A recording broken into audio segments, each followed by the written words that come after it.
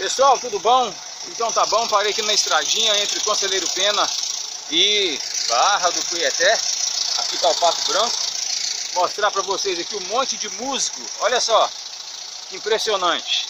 Coisa legal, olha. Um veludo.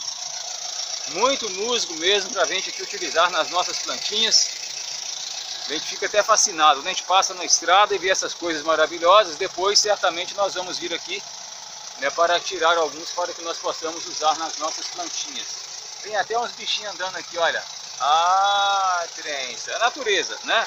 Tudo isso aqui é natureza, natureza viva, natureza linda, mostrando para vocês, porque certamente Adriano e eu viremos aqui né, buscar um pouco desses musgos aqui para levar para algumas atividades nossas lá com as nossas plantinhas, tá bom?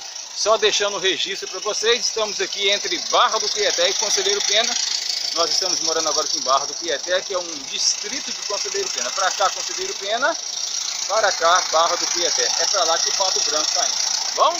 Abração, minha gente, valeu, fui!